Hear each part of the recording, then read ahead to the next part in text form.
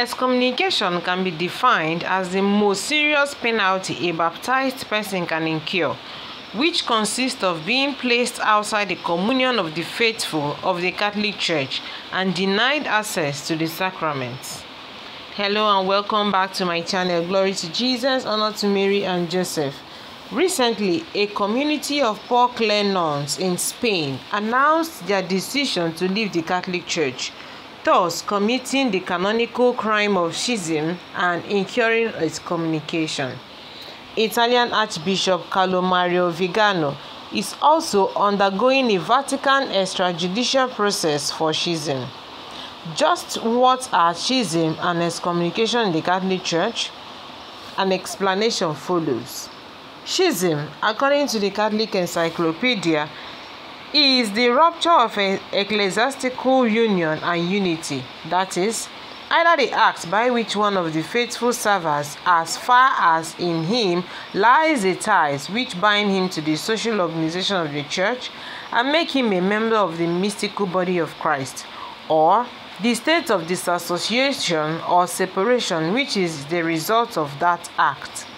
Canon 751 of the Code of Canon Law states that schism is the refusal of submission to the Supreme Pontiff or of communion with the members of the Church subject to him. Canon 1364 stipulates that the penalty for this crime is excommunication, lata sententia, automatically upon the commission of the offense. Excommunication can be defined as the most serious penalty a baptized person can incur which consists of being placed outside the communion of the faithful of the Catholic Church and denied access to the sacraments.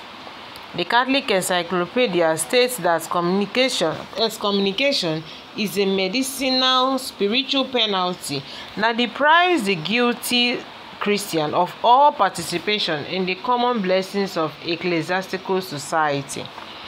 Being a penalty, it supposes guilty and being the most serious penalty that the church can inflict. It naturally supposes a very grave offense.